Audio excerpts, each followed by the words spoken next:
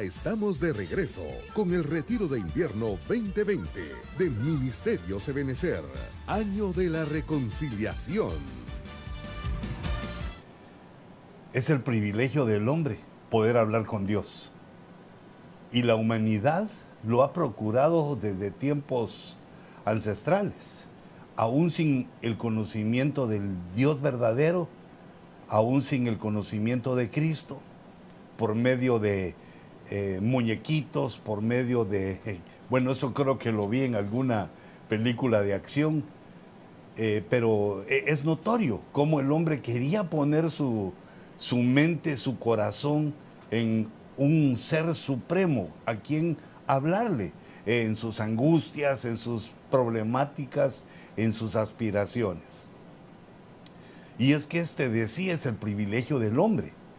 De todos los seres humanos, Dios nos permitió este privilegio de poder comunicarnos con el Creador. Mira qué privilegio, pero hay situaciones, hay una situación con la cual eh, tropezamos la mayoría de la humanidad, mira, la mayoría, sabiendo que podemos comunicarnos con Dios, que Dios nos escucha, tropezamos porque, en primer lugar, la, carga del pecado nos hace tropezar en este deseo la carga del pecado y a veces la negligencia y, también que nos atarantamos en tantas cosas que hacer en el día por cumplirlas todas, olvidamos que tenemos este privilegio en el cielo, un privilegio grande.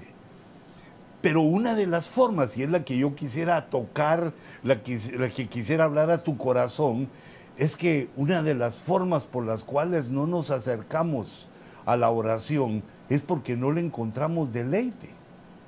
Y de las cosas que Dios quiere que hagamos, alabarlo, visitarlo en su casa, congregarnos, eh, escuchar su palabra, las cosas que Dios ha puesto para que nosotros hagamos como un culto, como el servicio para Él, Él ha dejado el deleite.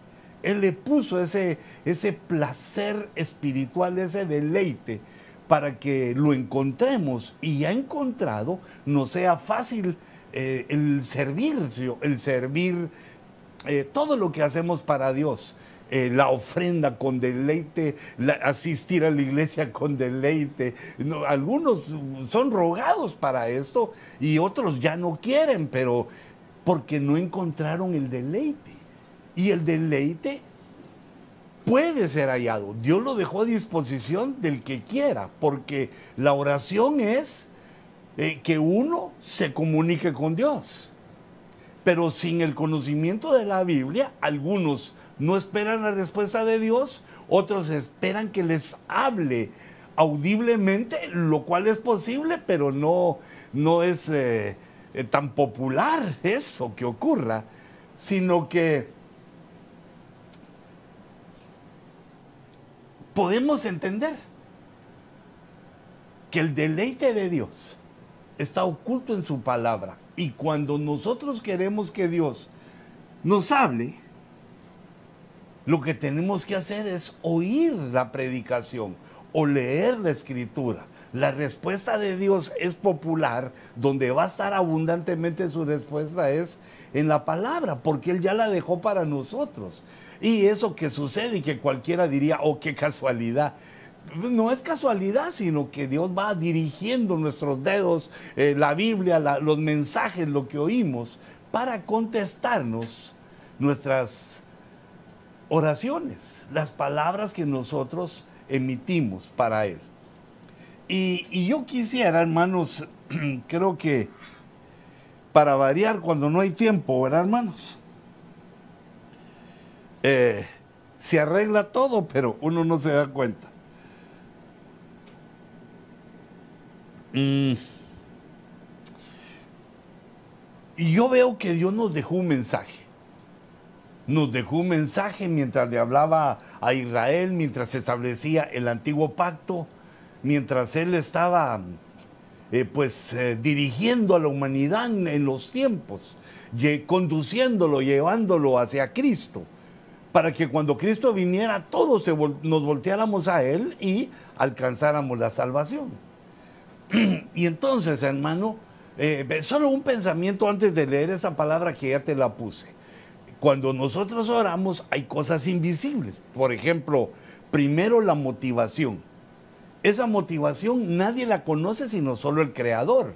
Nosotros estamos eh, hablando con Él, cuando hablamos con Él, que a veces es constante, ¿verdad? que amanecemos hablándole, gloria a Dios que amanecí, gracias Padre, tengo esto que hacer, por favor dame victoria, y, está uno con los hijos, y, los hijos a la escuela, la esposa, y eh, todo, y uno en su mente bendice, los guarda, los Señor, cuando uno va en camino, Dios mío, ya voy tarde, eh, Señor, hazme como a, Felipe, trasládame, dame, colapsa el tiempo. Uno le va hablando, platicando con Dios y Dios pues eh, no se escucha. No, no creo eh, que vaya a colapsar el tiempo, aunque él podría, porque imagínate todos pidiendo que el tiempo se colapse, lo colapsamos de una vez sino que lo que haría Dios es que te pone los semáforos en verde, te va ayudando y, para que llegues a tiempo y encontres estacionamiento y, todas las pequeñas cosas. El que cree que hay un Dios, el que cree que hay un creador, sabe que Jesús es el mediador, el que lleva, eh, es el que en el nombre de Él nos referimos al Padre porque... Eh, nadie puede llegar al Padre si no es por medio de Jesús la oración en el nombre de Jesús y así nos vamos repitiendo.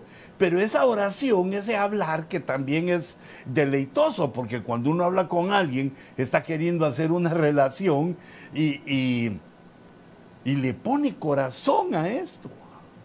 Pero fíjate lo que nos dice Dios. Eh, aquí estoy leyendo en el, en el Salmo 102, en el verso 17, que es un verso maravilloso, que es un mensaje para la iglesia. Dice, Dios ha considerado la oración de los menesterosos, de los más pobres, de los que tal vez nadie pensaría ni los oiría. Eh, sí, tal vez sí los ayudaría, pero no les importaría lo que dijeron porque eh, parece un fracasado. Pero Dios considera la oración, la, la escucha, la medita. Fíjate qué hermoso. Considera, la toma en cuenta y no ha despreciado su plegaria, de los más bajos desde los más bajos hasta los más altos, Dios escucha. Pero este verso del Salmo 102 eh, concluye aquí para nosotros en el verso 18, cuando dice, esto se ha escrito para las generaciones futuras. Los salmos en ese momento estaban escritos para Israel. Esto se escribirá para las generaciones futuras, para sus hijos. Pero dice más, para que un pueblo, aún por crear, alabe al Señor. Un pueblo, aún por crear, es decir, la iglesia. Ya había sido creado el pueblo de Israel, iba a venir Cristo, la historia que conocemos, venía la iglesia. Y esta palabra era, eh, no era, es para nosotros. Bueno, era también porque ahí lo profetizó el Señor. Profetizó que esto iba a ser para un pueblo que aún no nacía. El pueblo que iba a nacer por la sangre de Jesús. En los que iban a nacer por la fe una nueva criatura, un nuevo pueblo, una nueva generación de creyentes, de cristianos que ha estado creciendo, multiplicándose en medio de la humanidad durante dos mil años casi. Y que muchas veces ha sido despreciado. Pero date cuenta lo que nos dice, esa es la alegría que fue escrito para nosotros, pero date cuenta lo que dice Dios antes. Nos lo envía desde los tiempos, que Él va a escuchar la oración y Él la va a considerar. Cuando alguien considera algo es que está buscando cómo darle razón. Está buscando entender la razón del que lo pide y concederle. Dios ha considerado la oración de los más pobres. No los menospreció, a nadie menospreció, pero Dios escucha a todos. Eh, sin embargo, eh, eh, es un trato para los que no creen en Cristo. Hay ira sobre ellos porque no han alcanzado la gracia, la fe, la misericordia.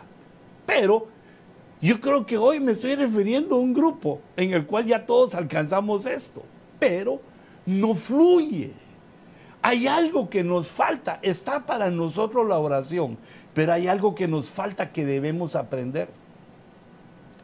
Mira, hay cosas eh, maravillosas, hay cosas bonitas. yo recuerdo que una anécdota que tocó mi corazón. Pero mira que, casi no la, no la digo porque mm, me quebranta. Pero voy, a procurar sostenerme para, para que eh, veamos, porque me parece algo maravilloso. Y es aquel pastor que lo contó, lo escribió, de alguna manera lo trasladó y yo lo supe y yo me la aplico, que él miraba que había un hermano que llegaba a orar a la iglesia afuera de la hora del culto, a mediodía. Llegaba, buscaba un lugarcito ahí en la iglesia, a veces estaba cerrada, a veces no habían abierto, pero él buscaba un lugarcito en la iglesia y oraba. Y el pastor se lo empezó a controlar, pero su oración era bien rápida. Un par de minutos. Y de ahí se levantaba, se sacudía y pues el hombre no, no estaba tan bien arreglado, se miraba que eh, su vestimenta era pobre y eh, se miraba que le faltaban un par de, días de, rasurarse y no, no estaba arreglado. Y andaba siempre con su maletín. Yo me lo imaginé, lo ubiqué eh, como un, vendedor que anda viendo, anda ganándose el pan de cada día y no le va muy bien en sus ventas pero es cristiano, confía en Dios.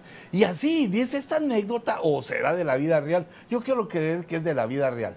Y entonces llegó y, compartírtela.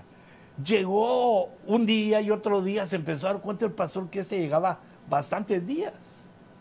Un ratito y se iba. Y entonces una de esas veces él se acercó y le dijo, hermano, ¿qué, qué viene a hacer usted aquí? Yo le hubiera dicho, ¿qué venís a hacer vos? Y entonces él le dijo, ah, ay pastor, perdón, solo ya hice algo malo, ya me va a regañar el pastor, solo vine a orar.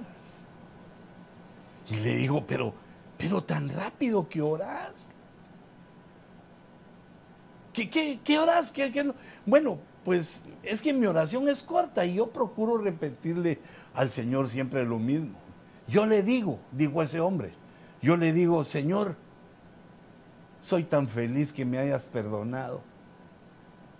Soy tan feliz que me hayas quitado la carga de mis pecados. Te lo agradezco. Pero yo no sé orar. Así que solo vengo delante de ti para decirte, yo, Juancho, me reporto ante ti. Y amén digo y me levanto y ya me voy.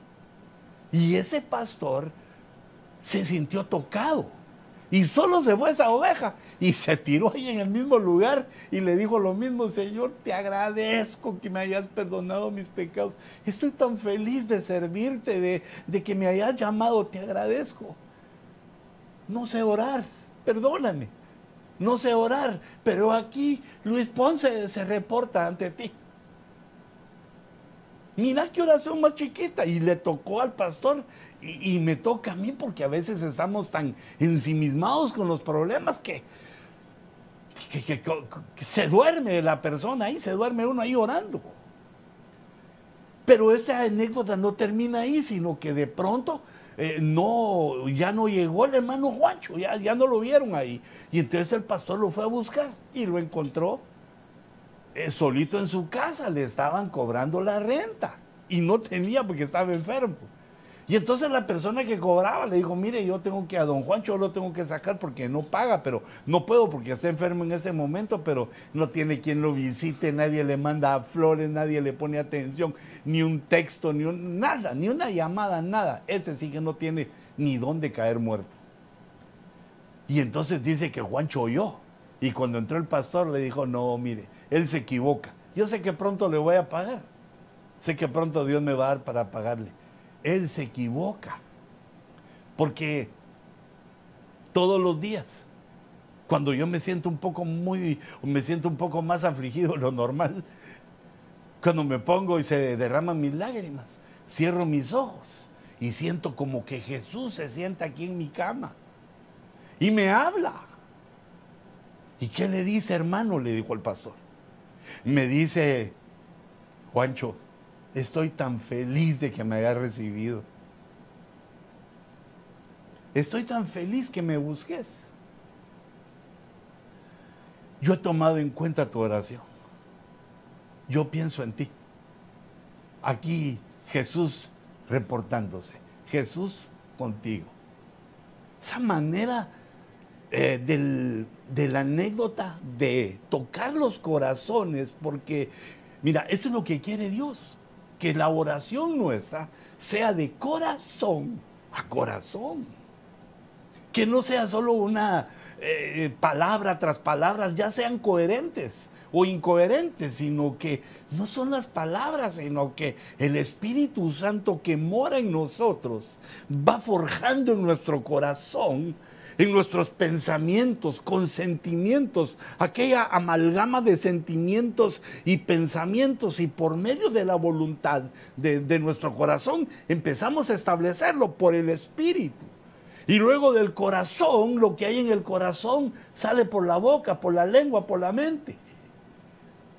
Y Dios entonces lo que escucha es una persona que quiere tener una relación amorosa con Él, que quiere tener una relación íntima, porque la intimidad va de corazón a corazón, de sentimientos, de pensamientos.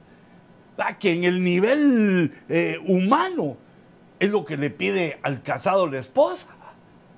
Que haya esa comunicación de, de amor, de sentimiento porque si no se vuelve lo que la Biblia nos dice que no, una repetición o una serie de palabras, o a veces hasta insolencias, o a veces hasta eh, preguntándole a Dios por qué no ha hecho lo que nosotros pedimos. Que este, este no es, eh, no es el, ánimo, no, no es eh, la motivación que debe haber en nuestro corazón. Pero ¿sabes qué pasa? No encontramos el deleite. El deleite lo, hemos, eh, o no lo hemos tenido o lo hemos perdido. Los que logran orar mucho tiempo es porque encontraron el deleite, no es porque que valientes se esforzaron, tiene eh, rodillas de camello y porque no, no, no, no, no, es que esto es secreto. Esto es secreto porque es íntimo y espontáneo así como la relación, poniendo como ejemplo la relación humana. Si uno quiere relacionarse, tiene que hablar, tiene que mostrar su corazón, dejarse conocer, no, no andar de, mentiroso, de cuentero, escondiendo cosas o pensando que Dios puede ser burlado. Por eso Dios nos deja, desde, desde el Salmo 102 nos deja diciendo, yo tengo algo para un pueblo que aún no ha nacido aún está en el tiempo, va a venir que es la iglesia. Yo tengo algo, yo, yo siempre considero, yo considero la oración de los menesterosos. Y yo no desprecio su plegaria. Y esto de una vez que es para ustedes, Israel, y para aquel pueblo que me espera en el tiempo. Yo creo que una de las bases para deleitarnos en la oración es esta, saber cuál es el punto ¿Cuál es eh, la motivación de la oración? ¿Qué debe salir de nuestro corazón? Porque desde ahí nosotros empezamos a hilvanar la oración. No, no solo lo que digamos, porque ¿qué dice la Biblia? He aquí, Señor, ni ha salido la palabra de mi boca y tú ya la sabes toda. Si ya la sabes toda, podría decir alguien, entonces ¿para qué me quieres oír? Nos quiere oír porque Dios quiere hacer una relación con nosotros, una comunión.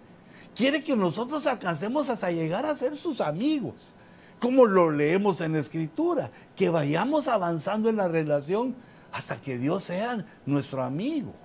Porque desde el Espíritu Santo que hay en nosotros, en la nueva raza, en el nuevo pueblo, en la iglesia, en el Espíritu Santo, del Espíritu, en esa frontera que dice la epístola de los hebreos entre espíritu y alma, ahí en nuestro espíritu, el Espíritu Santo eh, se moviliza para nuestra alma, nuestro corazón y forja la oración que Dios va a recibir porque es por el Espíritu. En el nombre de Jesús, por el Espíritu y al Padre. Así lo enseñó Jesús cuando los discípulos le pidieron que les enseñara a orar. Y fíjate cómo lo necesitábamos todos, porque aquellos apóstoles, cuando va a ser el tiempo de la entrega del Señor, Dios les pide, Jesús les pide, Jesús es Dios, les pide que oren con Él y Él se aparta, se aparta un poco para orar y cuando regresa los encuentra bien dormidos. Y les dice, ¿no pudisteis orar una hora? Mira cuál es el límite apostólico o ministerial. Una hora, no pudisteis velar conmigo una hora. No pudisteis orar. Eh, claro, la Biblia eh, excusa a estos siervos porque dice que tenían los ojos cargados de sueño. Les había tocado un día de, de, cansancio, pero fíjate el punto, lo que Jesús pide es, ¿no pudiste una hora? ¿Pero por qué? ¿Por qué fallamos así? Dios quiere fortalecer esta relación entre nosotros y Él. Él hace lo suyo. Ahora espera que nosotros, como pensantes, como seres tremendos, como sus hijos, por nuestro intelecto, de acuerdo a como nosotros lo entendemos, de acuerdo a nuestra mentalidad, quiere Dios que nos dirijamos hacia Él en esta relación hermosa, en esta relación de Jesús, yo pienso en ti, te amo. Y, después aquí Huicho Ponce reportándose. Ah, es tan chiquita, pero sentida. Lo que Dios nos da, la, llave que Dios nos da es que nos gocemos, que nos deleitemos. Y entonces, hermano, yo te quiero compartir un, pues no es secreto porque ahí está en la escritura, sino que te quiero compartir algo que, Dios eh, me ha dado. Pero eh, fíjate, la, el deleite, eh, la, la gana de orar, la pasión por orar, está en la respuesta. Es parte de la respuesta. La respuesta es la que nos aliente, la que nos alienta, Señor, respóndeme. Y Dios responde en su palabra y también responde concediendo lo que nosotros le pedimos. Pero fíjate, está aquella oración que dice, pedís y no recibís porque pedís mal. Entonces dice el Salmo 37, dice, pon tu delicia en el Señor y Él te dará las peticiones de tu corazón. Es decir, la oración victoriosa, la oración hermosa, la que nos da unas eh, no solo victorias, sino satisfacciones, porque nos responde Dios, nos contesta Dios. Requiere el deleite, requiere el deleite. Nosotros tenemos una capacidad en nuestro intelecto, en nuestro corazón, tenemos una capacidad de deleitarnos. Eh, por eso mirás que algunos se deleitan, algunos se deleitan en el deporte, más ahora que lo quitaron tres meses o, más, se deleitan en, cosas, en muchas cosas les gusta, son sus preferidos, es mi hobby, eh, es, lo que me gusta, pero es porque le gusta a uno, quiere decir, me deleito en eso, me deleito, tenemos una capacidad de deleitarnos que la mayoría la tenemos empolvada, oxidada, olvidada porque hay un principio para activar eh, el deleite. Claro que en las cosas mundanas es más fácil eh, que se, active, se activa solito, en los deleites que nos llevan al mal. Así está nuestra situación desde la caída, desde el pecado. Pero aquí Dios nos da la primera clave que te quiero eh, compartir la oración va a ser constante, la oración la vamos a buscar más si encontramos respuesta de Dios. Y entonces, ¿cómo viene la respuesta? Pon tu delicia en el Señor. Dice, pon tu delicia en Dios y Él te dará, Él contestará, Él te dará las peticiones de tu corazón. Ahora fíjate, ¿cómo se entiende pon tu delicia en el Señor? La versión Dios habla hoy lo traduce como ama al Señor con ternura. Mira, date cuenta cómo la pasión, la pasión del alma, las pasiones que hay en nuestro corazón son parte del ingrediente que Dios quiere. Ama al Señor con ternura. Pues no, no solo aquello de que te amo, Señor, tú lo sabes, tú, lo, tú que sabes todas las cosas, sabes que te amo, sino que por eso es que la oración es íntima, porque aquí hay una ternura. Como le dijo Juancho al Señor, yo pienso en ti, yo no sé orar, no sé orar, pero eh, pienso en ti, Señor, sos mi vida, aquí yo me reporto. Con ternura. Te amo, Señor, amando con ternura. Quiere decir, e, esa ternura habla de, calor, de algo, algo, algo caliente, pero no es agua caliente, sino que es una pasión. No es lo mismo decir te amo, Señor, que te amo. ¿Eh? La motivación, la oración y luego viene la respuesta. Si hay respuesta, eso nos motiva. La versión del lenguaje sencillo dice, entrégale a Dios tu amor. Fíjate todas las ideas que nos están dando, o varias ideas que nos están dando, de, confesar y decirle, Señor, mi corazón es tuyo, te entrego mi amor, te doy mi amor, Señor, quiero amarte. Entregarle es un acto voluntario. Ahí ya no solo entra la pasión, sino que entra la voluntad en el intelecto, la voluntad que conscientemente uno le dice, Señor, yo quiero amarte a ti primero, tú eres lo, más grande para mí. Por favor, ayúdame a esto. Enciende mi amor, activa Cualquier palabra, pero entregándole a Dios tu amor. Fíjate este, cómo pon tu delicia en el Señor.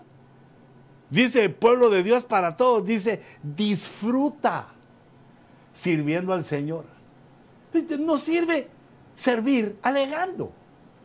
No, no tiene futuro servir eh, con mala cara. Hermano, es que hay injusticias, hermano, que hay eso, que hay lo otro. Pues sí, esa es la prueba que debes pensar o que debes vencer para que, a pesar de los pesares, al que estás sirviendo es a Dios. Y Él lo que te pide es, si quieres poner tu delicia en mí, disfruta, disfruta sirviéndome. Póngame servicio a mí. Aunque los otros hagan cosas que a ti no te parece. La versión moderna dice, busca en el Señor tus delicias. Y esta dice, la BJ, la Biblia de Jerusalén, su cuarta edición, disfruta pensando en, en Jehová y te dará lo que pida tu corazón. Disfruta pensando en Jehová. Ay, Dios mío no pensando e, en otras cosas, sino en Dios, en su poder, que tus pensamientos, tus sentimientos, tu voluntad estén en el Señor, es cuando uno pone su delicia.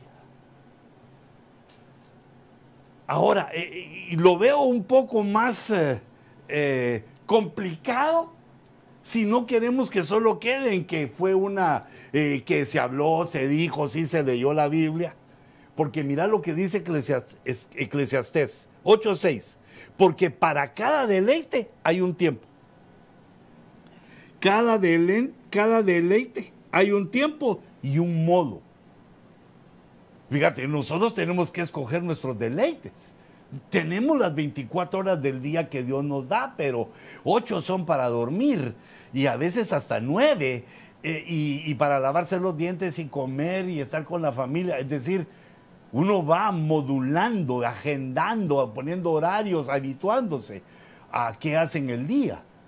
Por eso hablaba Jesús, no pudisteis una hora, pero aquí lo que dice es que todos los deleites tienen su tiempo y su modo.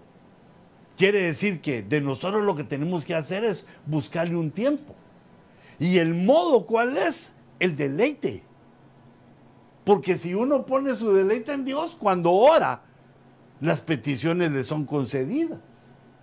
Se llega al éxito, porque uno lo que quiere cuando llega eh, con el Señor, eh, digamos en esas oraciones de petición, Señor, yo te pido por mis hijos, Señor, te pido por, por favor que no me quiten el trabajo, Señor, quita la pandemia. Uno hace peticiones en la oración también por otros. Señor, que hay evangelismo, que se conviertan. Los hermanos que están tropezando, Señor, ayúdalos. Los que se están habituando a no congregarse, ni, ni se están eh, poniendo, no se están deleitando frente al televisor ahora que hay palabra virtual. Por favor, ayúdalos. Uno, uno pide a Dios cosas. Y Dios ya la sabe y Dios quiere que pidas y que hagas tu relación con Él para que lo conozcamos y también nos demos a conocer a Él. ¿Cuáles son nuestras motivaciones y cuáles son nuestras peticiones para que las conceda? Pero fíjate, ya me estoy tardando mucho. Hay un tiempo y un modo. El tiempo lo tenemos que decidir nosotros por nuestra voluntad. ¿Qué otra cosa eh, con la voluntad? Entrégale a Dios con la voluntad. Sírvele, disfruta sirviendo, la voluntad. Busca en el Señor, la voluntad. Hay un tiempo que nosotros tenemos que buscar en nuestras 24 horas eh, de vida diarias. Y hay un modo. ¿Y cuál es el modo? Poner tu delicia en el Señor. Ahora, el problema es ¿Cómo hacer para deleitarnos entonces? Ya sabemos que tenemos que ponerle un tiempo, ya, ya, sabemos que tenemos que dedicar un tiempo, pero ¿qué hacer para que no sea obligatorio? Porque Eclesiastés dice el tiempo y el modo. En el modo obligatorio de oración no va a durar mucho. No va a durar mucho ni de tiempo, ni va a durar mucho los días que lo hagas porque, o que lo hagamos, porque así forzado cuesta la cosa. Forzado es difícil, eso no va a durar. Y además no hay garantía de que Dios lo esté recibiendo porque así forzado cae mal. Como aquel hermano que viene con uno y le dice, mire, quiero platicar con usted porque no hay con, no hay con nadie más con quien hablar. ¿va? de una vez ya cortó, en lugar de decir, mire qué privilegio siento hablar con usted, platiquemos ¿qué, de qué hablamos, quiero aprender de usted algo. Bueno, pero entonces fíjate, ¿cuál es el modo?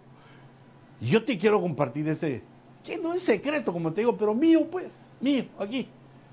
Aquí en mi lejanía en el ley, mi lejanía de, de todos vosotros. He descubierto algo y he procurado ponerlo en mi vida, hacerlo parte de mi vida. Y es esta parte del verso, un verso de Isaías, que dice, entonces te deleitarás en el Señor. Ahorita te guardo el versículo, solo quiero, quiero comenzar eh, con el principio desde aquí, mira, donde atrajo mi atención, que dice, aquí está el secreto entonces te deleitarás en el Señor. Pero esta palabra entonces, ¿qué significa? ¿Qué significa el entonces? Eh, dice el diccionario que es algo, es una situación que va a ocurrir inmediatamente después en el tiempo. O sea que pasó algo y cuando uno dice entonces es que va a ocurrir inmediatamente después de esto una situación. Eh, este otro otra definición dice, introduce una oración en la que se indica una deducción de lo dicho anteriormente. O sea que hay pensamientos anteriores y el entonces quiere decir que se hace una deducción. Una deducción es una especie de razonamiento. Es un razonamiento que se llama y que lo usamos todos. Aunque no lo sepamos, lo usamos todos porque es parte del intelecto. Es una deducción que yo me recuerdo de ella porque le, lo grabé en mi mente de esta manera. Es la deducción. Sí, entonces. Si pasa algo, entonces va a pasar otra cosa. Sí, entonces es una forma de deducir. Si hay esta situación, entonces la situación que viene es esta. Ah, si me porto mal, entonces me va a ir mal. Es una deducción, sí, entonces no es tan difícil. Y la usada, si llegas a tu casa, entonces tendrás que dar explicaciones. Si no llegas a trabajar un día, entonces te descontarán ese. O sea que son deducciones que uno hace lo que va a suceder. Pero quitemos eso porque quiere decir que el pensamiento que viene antes da como resultado que te deleites en el Señor. Es decir, que Dios mismo nos dice cómo nos debemos deleitar en Él. ¿Cómo es que una persona se deleite en Él? Entonces, el principio está en el verso 13 del capítulo 58. Si por causa del día de reposo apartas tu pie para no hacer lo que te plazca en mi día santo. Eh, bueno, aquí está hablando del día del servicio, del día de la congregación, del día que nos juntamos. Aunque ahora estamos eh, limitados en eso, nuestras juntas son virtuales. No te perdas la palabra virtual. Y sabes qué, respetala no estés eh, cocinando al mismo tiempo, no estés eh, barriendo, eh, no digas, ay, ahorita vengo, solo que parale, hermano Sergio, o algo que, porque voy a ver si no se me queman los frijoles o el niño está llorando. No, prepárate porque es el servicio ahora. Prepárate con tu familia, con tus hijos y decirles, ahorita es el tiempo del Señor. Ahorita quiten, apaguen todo, no contestamos celulares, no, ¿por qué? Le vamos a dar su tiempo al Señor. Si por causa de congregarnos, el día de reposo era el día que se congregaban los hebreos.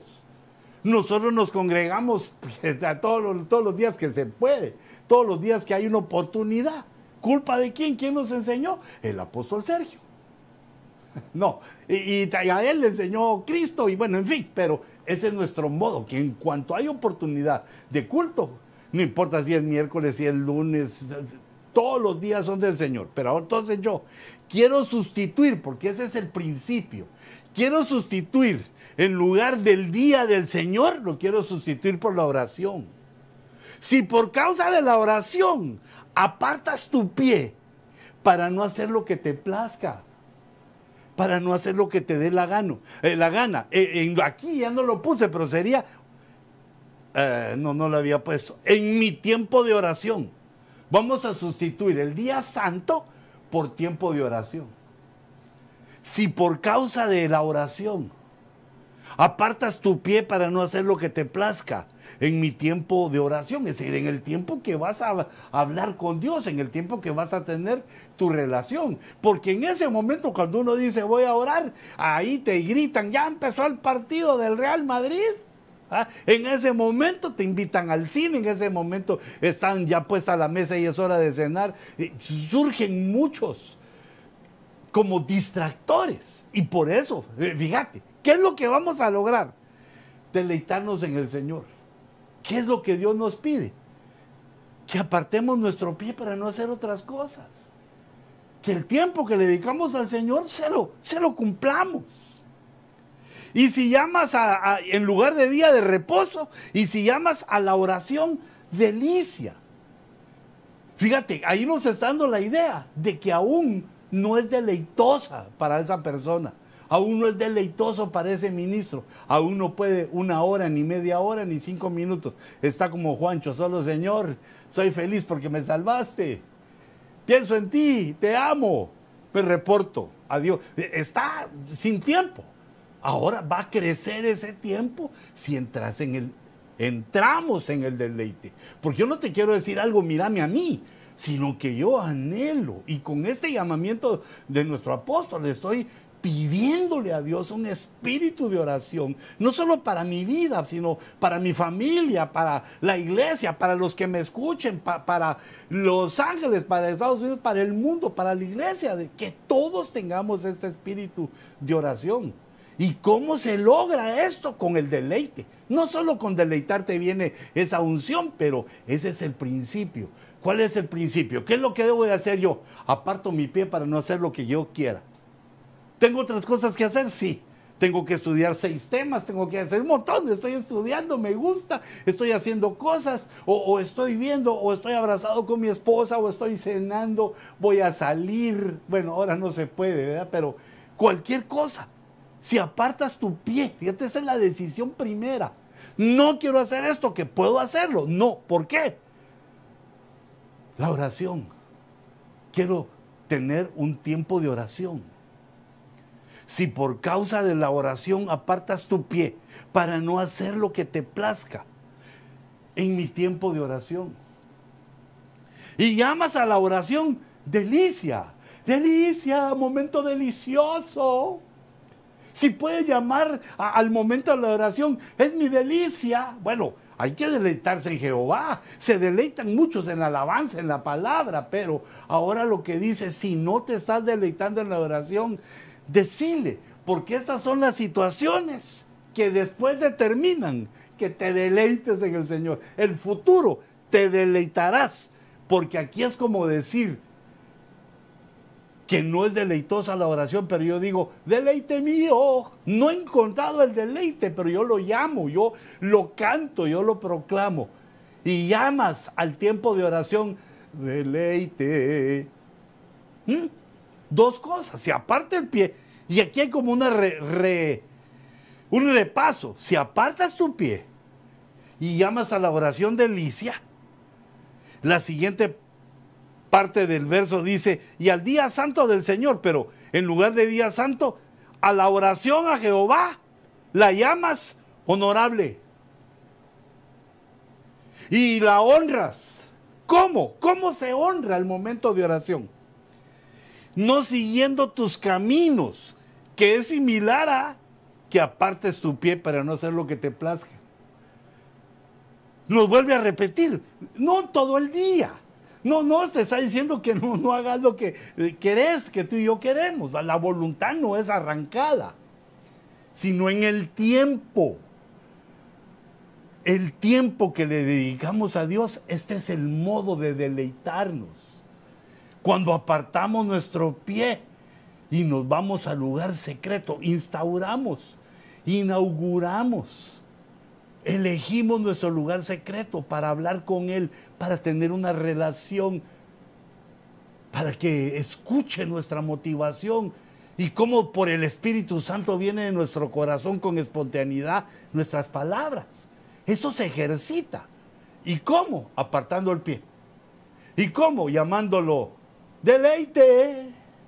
Y ahora vuelve a repetir y dice, si llamas, si llamas a la oración delicia, si llamas a la oración honorable y la honras, ¿cómo se honra la oración? No siguiendo tus caminos, ni buscando tu placer, ni hablando de tus propios asuntos. Ay, ay, aquí hay un problema, porque cuando uno habla con Dios, está hablando de sus propios asuntos. Pero aquí por el contexto entendemos que no hablando de tus propios asuntos con otros, porque le estás dedicando el tiempo de este modo, del modo mm, deleite a Dios. Y, además aquí la versión de las Américas nos, nos explica que literalmente dice, ni hablando de asuntos porque tus propios está con letra cursiva, que nos indica que fue puesta ahí para que entendiéramos mejor o para que entendiéramos eh, el, pensamiento. Entonces, no es de que uno no le va a hablar a Dios de sus asuntos, porque si no, ¿de qué le hablamos? Del corazón, de nuestros asuntos, pero ahí está diciendo, no hablando tus asuntos con otros. Si pasan estas cosas, ahora viene el entonces. Entonces, así que, mira, entonces se puede traducir también mm, siendo así. Ese es un sinónimo que encontré. Dadas estas cosas, siendo así, te deleitarás en el Señor. Así como nos explica aquí cómo deleitarnos a ir al culto. Es el mismo principio que Dios da. ¿Cómo hacemos para atraer el deleite a nuestra vida.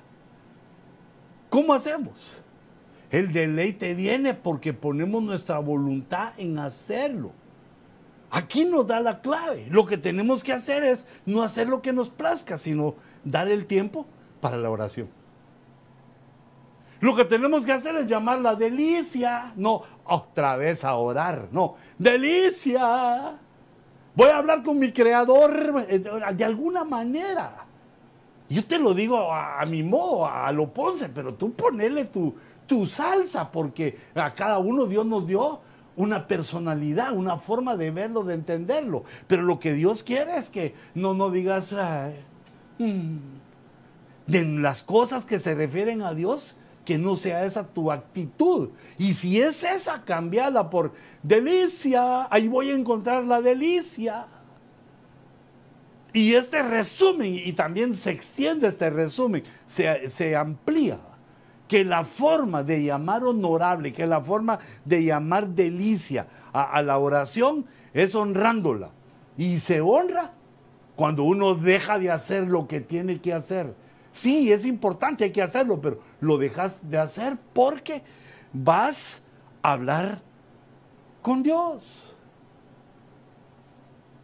Entonces, te deleitarás en el Señor y viene la respuesta.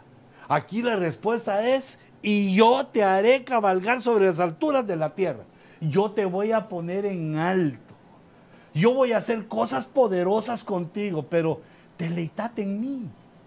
El principio del deleite de Isaías 58, 13, debemos procurar eh, ejercitarlo, hacerlo para encontrar el deleite con Dios y entonces que se cumpla el verso que dice, deleítate a sí mismo en Jehová y Él te concederá los deseos de tu corazón. Deleítate, ámalo, sírvele. Es un misterio, un secreto, una doctrina. Comenzó como secreto y se ha quedado así para muchos. Porque esa es una de las cosas más difíciles la, del cristiano. Una oración correcta, una oración que le guste, una oración que salga. Perdona, hijito, yo, yo así lo aprendí para la gloria de Dios, donde el Señor me ha llevado. Donde he estado yo de rodillas en Ministerio Sebenecer, no como ministro, sino como oveja. Señor me ha tocado siempre, gloria a su nombre, pero yo sin saber que ese es el principio. Solo el decirle, Señor, aquí estoy, mira, ayúdame, ya, ya se me quebranta el corazón y puedo orar de esa manera. Pero, pero, ¿cómo se llega al deleite? ¿Cómo se deleita uno en la oración? Hay que apartar el tiempo. Tal vez no te propongas una hora para comenzar, sino proponete el punto, proponete tengo que hacer otra cosa, pero ahorita es el tiempo de Dios. qué error fallar ahí. Señor, ahorita vengo, solo voy a hacer esto. No, no, el principio era que lo demás espere, que lo demás espere, porque vas con el Creador. Mira qué privilegio que una criatura tan débil como nosotros, rodeado totalmente de maldad y de pecado, por todo el mundo, por todos lados. Dios considere nuestra oración. Y, entonces, mirad, solo eh, faltaría lo que, cómo traduce la versión Biblia al día, donde dice, ni hablando de tus propios asuntos, dice, no haciendo negocios ni profiriendo palabras inútiles ni hablando con otros, esa, ya la puse yo, no hablando con otros, sino hablando con Dios. Entonces te deleitarás en Jehová y Jehová nos hará cabalgar. Y entonces, hermano, me quiero despedir con la oración de Habacuc 3:16. Habacuc, me gustó esta oración desde muchas que hay en la Biblia, preciosas, pero me gustó esta porque Abacuc significa abrazo. Y el abrazo significa comunión. Ese es un profeta que nos está dirigiendo para que tengamos esa comunión con Dios. El abrazo del Hijo, e, el abrazo del, del que pide, el abrazo del amigo, el abrazo, el abrazo de la criatura a su creador. E, ese es el mensaje que da aquí la oración de un ministro, de un profeta. Y se echa todo el capítulo 3 en oración. Quiere decir que tenía el deleite. Y fíjate esto, cómo lo manejaban los hebreos. Porque él dice, esta oración que hago es en tono de signiot. El tono. El tono es como refiriéndonos al modo, de qué forma. ¿Cómo lo vamos a hacer? llorando de pie, eh, de rodillas, tirados, en público, en privado. E, el tono quiere decir también de lo que eh, sale de nuestra voz, pero está dándonos una especie de modo, con el cual vamos a orar. Esta oración de Habacuc, aunque no la vamos a ver todo, pero solo quiero que veas esto importante, porque lo hace en un tono que es una palabra que es higionot, que no es una palabra eh, ni en inglés ni en español, sino que es hebrea. Y una de las, de las cosas que quiere decir que es bien profunda, muchos dicen que no saben qué quiere decir, se excusan, pero los que se atreven y los que han estudiado dicen que Sigionot significa vehemente o apasionado. Es cierto, mira el principio para deleitarse en las cosas de Dios, pero tiene que haber una pasión, tiene que haber pensamientos, por eso es de corazón a corazón con Dios. Viene de mis pensamientos, de mis sentimientos y de mi voluntad. Allí en esa frontera de espíritu y alma, donde el Espíritu Santo penetra y forja, le da forma, porque la Biblia dice que nosotros no sabemos cómo orar y que el Espíritu Santo se presenta ante el Padre con gemidos indecibles, con gemidos solicitando y pidiendo.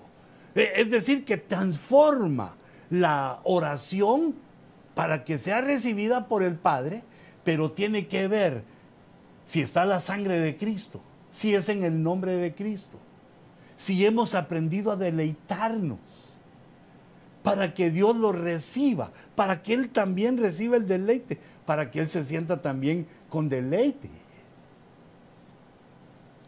Y también compasión. En el tono de Sigionot quiere decir compasión. Y entonces empieza. Eh, depende quién lo lee. Si el que va a leer esto, porque ya el tiempo de Habacuc se fue, pero aún es tiempo del abrazo.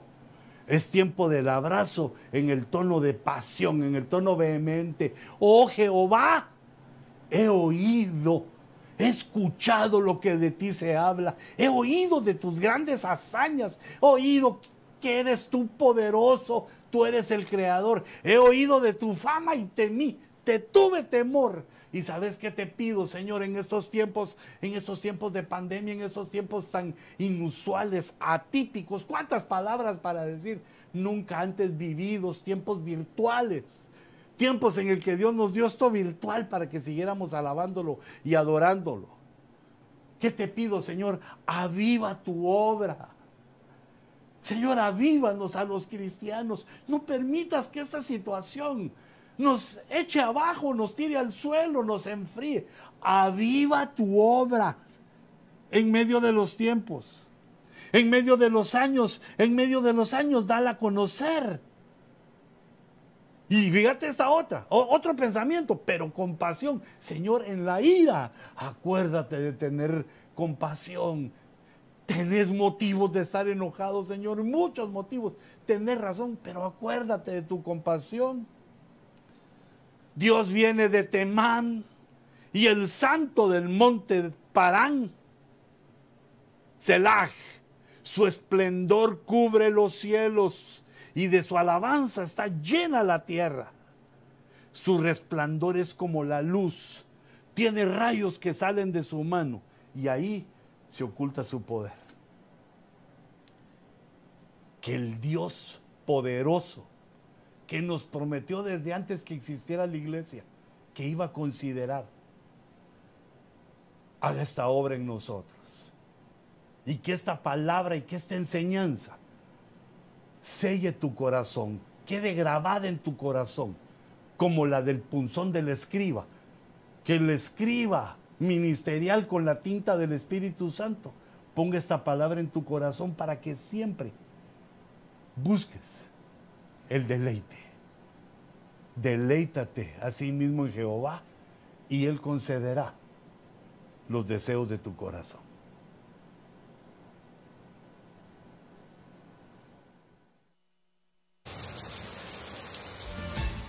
Ya estamos de regreso con el retiro de invierno 2020 del Ministerio Sebenecer, año de la reconciliación.